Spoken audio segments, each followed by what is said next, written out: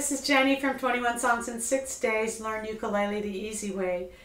Uh, I'm going to show you three chords, C, F, G7, C, because, well, C twice. C, F, G7. If you know those three chords, you can probably play 2,000 songs because they're the most basic chords we would use. But here, let's just show them to you slowly and carefully. C chord, if you recall, you put your third finger, which is your ring finger, in the string closest to your knee, which is the first string, in the third fret, not on the line, but in the fret. Then you take your first finger, let's put it on the second string in the first fret, and then the second finger on the fourth string. That gives you your F chord. And then I'm going to leave my first finger where it is. I'm going to put my second finger, move it down one string. That's for my G7, and I scrunch my ring finger into the second fret here so that I get a G7. Oops. And then I just slide my third finger back to where it was in the third fret and play.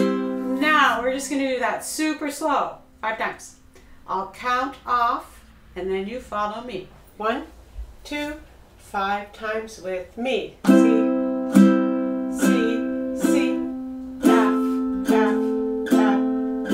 G7, G7, G7, G7, then back to C again. One, go to F,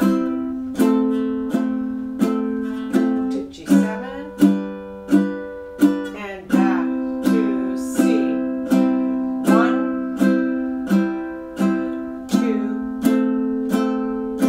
three, G7.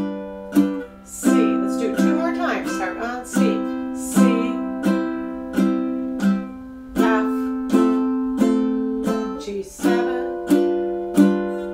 And have one more time.